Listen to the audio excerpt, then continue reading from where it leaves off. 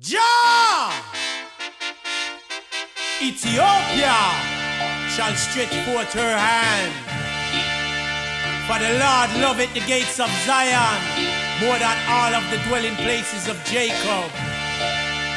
O glorious things are spoken of thee, O city of God.